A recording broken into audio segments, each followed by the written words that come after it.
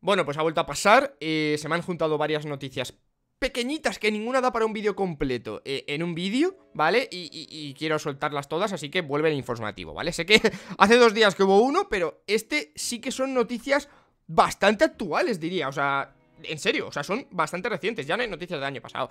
Sé que me he dejado cosas sin comentar importantes del año pasado, ¿vale? Pero ya esas han pasado. Ya esas para mí no existen. En la historia del motorsport esas cosas no han pasado ¿Vale? Ya está.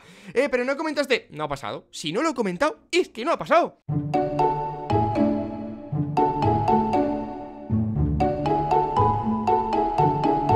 Bien, Arabia Saudí se ha propuesto el objetivo de ah, poder hacer todas las competiciones deportivas del mundo, ¿vale? O sea, en Arabia Saudí ahora mismo hay un jeque o dos o 600, no lo sé, o el gobierno de allí o quien sea, que ha decidido eh, acoger todas las pruebas deportivas que, existen en, el mundo, ¿vale? Entonces, si por si acaso tú ves en tu pueblo, que en el parque de, en algún parque que tengas cerca, hay un club de ancianos que juega muy bien a la petanca, eh, ten cuidado porque les puede llegar una oferta de Arabia Saudí para jugar allí, ¿vale? O sea, igual Habla con ellos, organizar bien el viaje, entre varios, para que os salga barato y eso.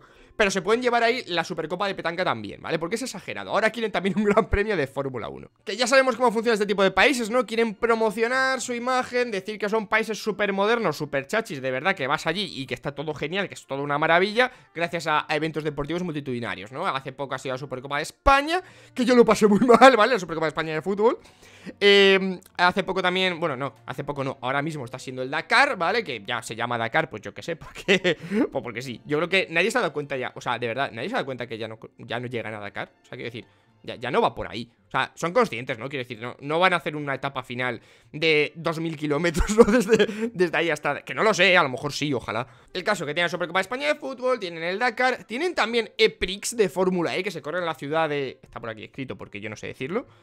Diri ya. No era tan difícil. Vale, o sea, tienen, tienen ya bastantes competiciones, ¿no? Y se está dando, pues, a conocer Arabia Saudí, se está modernizando, entre comillas, todo lo que se moderniza este tipo de países. Y ha salido eh, la dirección, ¿vale? Digamos, los, los, gestores del Gran Premio de Bahrein, que podría ser la competencia más o menos directa, porque están más o menos cerca en el, en el mapa, diciendo que a ellos les gustaría, ¿vale? Que no les importaría que, existiera un Gran Premio en, en, en Jeddah, ¿vale? Que sería la capital de, de Arabia Saudí. Eh, creo que es la capital. O sea, es la ciudad donde se quiere hacer todo esto. Es donde se está generando todo. ¿Vale? Creo que es la capital, Jeddah. Espérate. Pues no, la capital es Riyadh, ¿vale? Lo acabo de mirar, pero bueno, el caso es que Jeddah es el destino más probable para esto, según leo por aquí.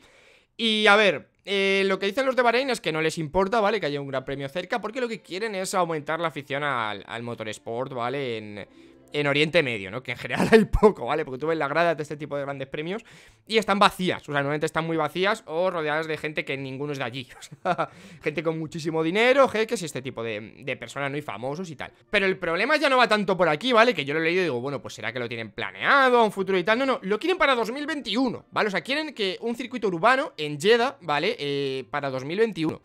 Va a empezar la temporada 2020 ya, y ya hay equipos protestando por la cantidad de carreras que hay ahora mismo a día de hoy, que son 21, ¿vale? O sea, el año que viene, eh, con esta, serían 22. Vamos a ver por hecho que entra. Quieren tener 25 para 2025.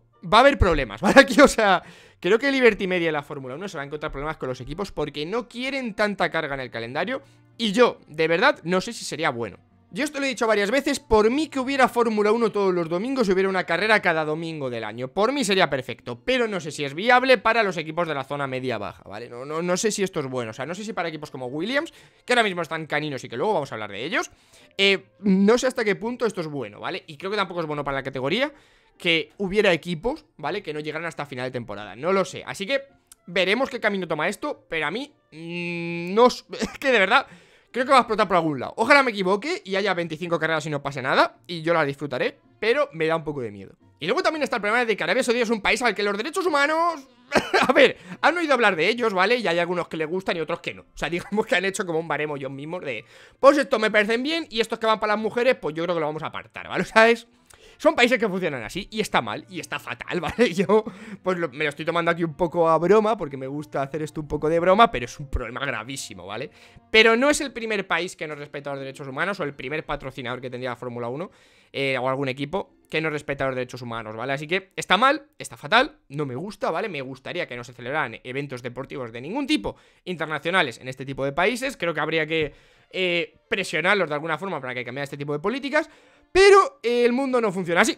o sea, el mundo funciona pues con el dinero de esta gente en gran parte. Entonces, igual la Fórmula 1 a día de hoy no era viable económicamente si no es por este tipo de inversores, ¿vale? Y a la vez es un espectáculo que me gusta mucho como, como para perderlo. Si acercar allí el fútbol, la Supercopa, si acercar allí el Dakar, si acercar allí la Fórmula 1 sirve para que estos países se vean obligados por la presión internacional un poco, aunque sea por aparentar, a respetar los derechos humanos de las mujeres y de otros colectivos, pues mira, por poquito que se haga, se hace más a lo mejor que aislándolos de todo. Es que no lo sé, ¿vale? No soy un experto en política internacional. O sea, no, tampoco voy aquí a solucionar nada. Pero si se puede hacer algo así, pues oye. Y si no se hace nada, pues al menos que tengan que disimular durante una semana que son un país civilizado, ¿no? ¿Qué, queréis que os diga? ¿Está mal? Sí, está mal, pero el mundo funciona así.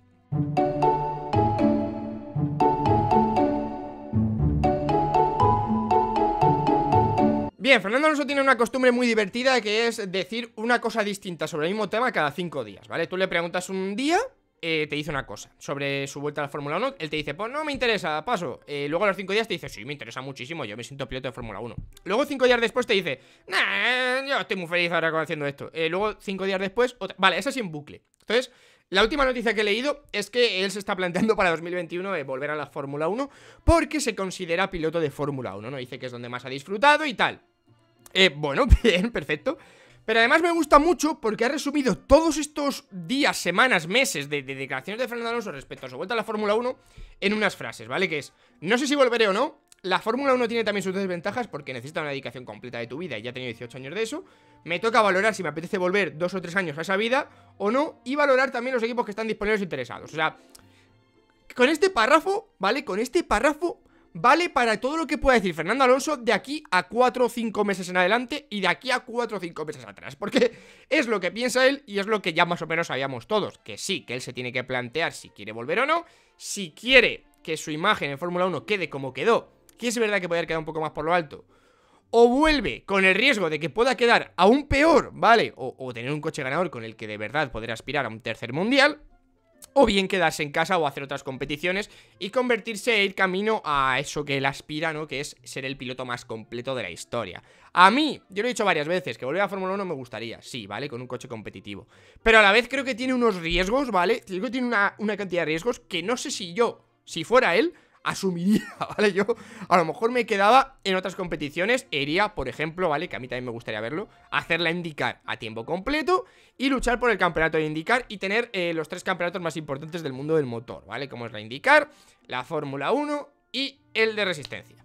Entonces veremos qué hace. Esto también ya os digo, estos son seis meses más de escuchar que si Alonso se acerca a Ferrari, que si se acerca a Mercedes, que si suena no sé quién que ha llamado, no sé cuál, que tal. Nos quedan seis meses de aguantar eso, ¿vale? Mm, yo os recomiendo tomároslo con humor. o sea, cada vez que leáis por ahí Alonso se acerca a Ferrari o Mercedes tiene un hueco libre o qué tal, vamos a tomárnoslo la risa y ya está, ¿vale? Ya está, tranquilamente. Porque de verdad dudo mucho que a día de hoy a Ferrari o Mercedes les interese Fernando Alonso en su equipo, ¿vale? Porque no, o sea, no porque sea mal piloto, que desde luego que no lo es, pero es que ya tienen sus planes hechos, ¿vale? O sea, es que ya tienen sus pilotos y ya tienen su, estructura de equipo montada. Y desde luego equipos como Ferrari, eh, si Vettel por lo que sea no renueva para 2021, dudo mucho que quiera volver a caer en el error de meter dos gallos al mismo gallinero, ¿vale? Así que es que está muy complicada la cosa. Pero bueno, eh, también vive de esto, ¿no? Tanto Fernando Alonso como la Fórmula 1, de estos rumores y tal. E incluso al propio Fernando Alonso no le viene mal que se hable de que si vuelve o no, para que luego los equipos a los que vaya a lo mejor de otras categorías pues le paguen más, ¿no? Digamos, o sea, pueda eh, ganar en... pueda exigir más a otros equipos de otras categorías con el bagaje de, oye, que me quiere la Fórmula 1 por aquí, ¿sabes? O sea, igual le viene hasta bien a él, así que, en fin, yo creo que hablaré de esto más veces de aquí a, verano, que es cuando dice que va a tomar la decisión. Que a ver, que la decisión él la puede tomar, pero yo creo que Ferrari y Mercedes ya la han tomado también, ¿vale? O sea, que son a priori los dos únicos equipos competitivos eh, los dos únicos equipos en los que se puede ganar en Fórmula 1, porque Red Bull también está, pero Red Bull ya ha dejado claro que no. O sea, digamos que es el equipo que más claro lo ha dejado. Entonces, veremos qué pasa. Yo, oye, de verdad, lo que he dicho ya, si me gustaría verle a Fernando Alonso de vuelta en Fórmula 1, claro que sí, ¿cómo no me va a gustar? Yo creo que tiene todavía talento y que debería estar ahí, ¿no? En el Dakar, ¿vale? Lo creo de verdad, o sea, y no porque no me guste el Dakar, sino porque creo que el Dakar se puede hacer eh, con 50 años perfectamente y no ahora que está todavía en la parte alta de su, de su carrera deportiva. Pero bueno, que ya está, que no sabe si volverá o no. Y yo sé, lo que sí sé es que se volverá a hablar de esto, eh, nada, pasado mañana. Otra vez saldrán rumores, así que Voy a intentar hablar lo menos posible y ya digo, vamos a tomarnos con humor eh, todos los rumores de que si se va un equipo a otro, porque todos van a ser mentira, ¿vale? O entonces vamos a tomárnoslo con humor y ya está.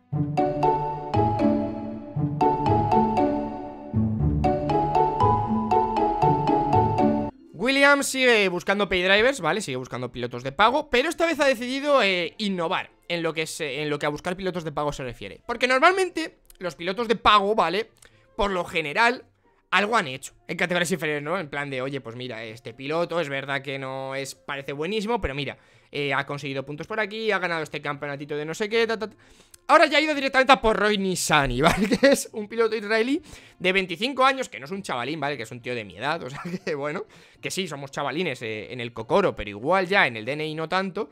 Y, ha dicho, eh, Roy Nissani, Roy Nissani. Y Roy Nissani se ha dicho, ¿qué? Eh, ¿Quieres venir a conducir aquí? Y he dicho, por supuesto. Iba a correr en tres sesiones de libres en la temporada 2020 y por esas tres sesiones de libres ya va a tener un patrocinador Williams, ¿vale?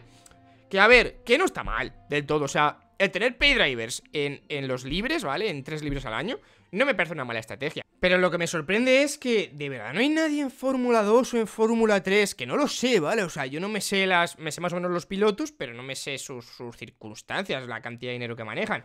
Pero de verdad que no hay nadie que tenga un poquito más de talento, ¿vale? Porque ya vas, ya vas a Fórmula 1 con Latifi, que está cogidísimo con pinzas, que en 27 años en Fórmula 2 no ha sido capaz de destacar. Y vas a poner de tercer piloto, ¿vale? En principio, a este chico que es que es que quedó último en 2018, es que consiguió un punto en Fórmula 2 en 2018. Es que yo no sé, ¿vale? De verdad, que no lo sé, a lo mejor no lo hay. Y está, la situación en Williams es absolutamente desesperada y, y necesitan dinero como sea. Pero joder. Insisto, este chico para libres, ¿vale? Es para sesiones de libres. Tres sesiones de libres, te llevas a la empresa israelí Startup que va a poner ahí, lo estoy leyendo aquí por supuesto, no, es que no, no me sé de memoria las empresas israelíes que patrocinan Williams, perdóname, ¿vale?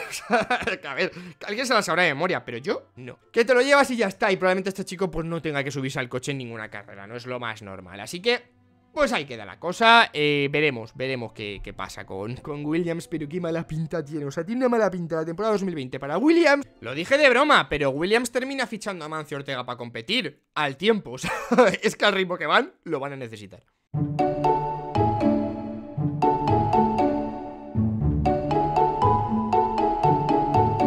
A ver, McLaren a el otro día McLaren, pues, eh, le dijo a Lando Norris, ¿vale? Que hiciera como un vídeo, un directo desde allí, desde la fábrica de Walking y eso. Pues hablando de, su vida y sus cosas, ¿vale? No lo he visto, no, no, lo he visto el directo, o sea, no, la verdad es que no lo he visto, las cosas como son. Pero el caso es que Lando Norris filtró, ¿vale? Inintencionadamente la, fecha de presentación del, del, del McLaren, ¿vale? Que va a ser el 13 de febrero. A ver, esto no se lo cree nadie, ¿vale? O sea, evidentemente estaba preparado, ¿vale? Estaba preparado, pero está hecho de una forma graciosa y simpática, por lo cual a mí me parece bien. O sea, es evidente que esto es mentira, es evidente que esto es mentira, que no se les ha escapado, que no es un leak eh, mágico y Norris eh, se ha puesto a investigar debajo de las piedras de Walking para ver qué día era la fecha, sino que estaría preparado, ¿vale? Pero me parece que está hecho con gracia, yo qué sé, y hay gente que dice lo de que Norris en realidad es un producto de marketing tal, de McLaren, que él no es así, que todo está preparado. Pues mira, si lo es, ¿vale? No quiero saberlo, ¿vale? Si lo es, si todo, todo lo que es Lando Norris como personaje está preparado, está eh, guiado como un maniquí por parte de McLaren, no quiero saberlo porque me parece que lo están haciendo muy bien y quiero que sigan así, ¿vale? ¿Qué, qué, quieres que te diga? O sea, yo creo que ese chico es bastante natural, ¿vale? Pero esto a mí no me ha colado. No, no ha colado, o sea, evidentemente estaría preparado. Pero aún así, insisto que han hecho de una forma graciosa y simpática y no me parece mal. Porque hay gente como diciendo, no, que se nota un huevo, que, estaba preparado. Pues sí, ¿y qué pasa? ¿Qué pasa? Pues ya está, pues en vez de salir en un tweet con una captura de pantalla el 13 de febrero presentamos el cacharro, pues han hecho la gracieta hasta con Norris, que a mí me parece estupendo, ¿vale? ¿Qué queréis que te diga? No sé. Es, es, es, complicado este tema, ¿no? De las de la estrategia de marketing detrás de los pilotos. Yo qué sé, a mí me cuesta creer que McLaren le diga a Lando Norris, oye, ponte a ver, eh, eh, ponte a hacer un directo en Twitch a comentar el City Fruit de F1. Es que me cuesta ver a mí, en McLaren en una mesa reunidos, a la gente diciéndole eso. O sea, doy por hecho que sale de él. Y evidentemente McLaren le pondrá límites y dirá, eh, por favor, no digas este tipo de cosas o tal o tal, y le pondrá algún tipo de límite. Pero por lo demás, yo creo que Lando Norris es bastante Lando Norris. Y es así de personaje, ¿vale? ya lo era en F2. O sea, y probablemente en F3, lo que pasa es que ya no me acuerdo de tanto. Pero no sé, me parece un tipo entrañable Lando Norris Y esto me ha hecho gracia, lo de la fecha de presentación, ¿vale? Que será el 13 de febrero Ya han salido varias fechas de presentación Creo que Ferrari es el 12 y el resto no me acuerdo Ferrari me acuerdo y no sé por qué Así que nada, eh, la fecha de presentación como tal no se puede criticar, ¿no? O sea, ¿se puede criticar una fecha de presentación? ¿Se puede estar, ojo, se puede estar en contra de una fecha de presentación con argumentos? Lo voy a intentar. El 13 de febrero lo han puesto el 13 de febrero. O sea, no lo ponen el 12 o el 15, que es lo suyo. Creo que es cuando se hacen estas cosas. No, no. Van y dicen el 13 de febrero. Pero tendrá algún tipo de sentido. Pero estamos todos locos. ¿Qué pasa? Que yo, yo, yo me tengo que bajar de este planeta porque está girando demasiado rápido y no entiendo nada. Ponen el 13 de febrero. O sea, el 13 de febrero. Pero es que, no hay nadie al volante. ¿Qué pasa aquí? ¡Ay! ¡Qué tonto soy! Me ha hecho mucha gracia hacer esto, ¿eh? Uf, tengo que hacerlo más. Hostia, criticar cosas que no se puede criticar. Es maravilloso, es un nuevo género. pero, 13 de febrero, ¿por qué? O sea, también podemos ir súper a tope, ¿no? Súper a favor con la decisión del 13 de febrero. Pero ya no lo voy a.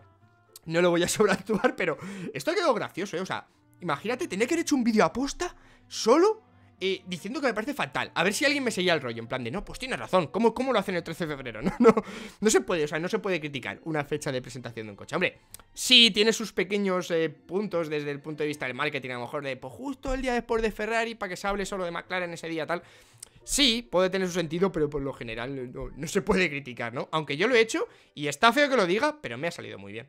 Y ya está, yo qué sé, y pasarán más cosas esta semana y no sé si el siguiente vídeo sean otros informativos. Como está la cosa paradilla, pues hay noticias pequeñitas, ¿vale? Salen noticias pequeñitas, tonteritas, que están bien para comentarlas un poco, ¿vale? Pero para vídeos completos pues no dan, así que no descarto que haya más informativos próximamente. Lo que sí que no descarto, ¿vale? Es que le des like a este vídeo cuento con ello, ¿vale? O sea, si no le das, yo igual me muero. O sea, tú, tú verás, de ti depende.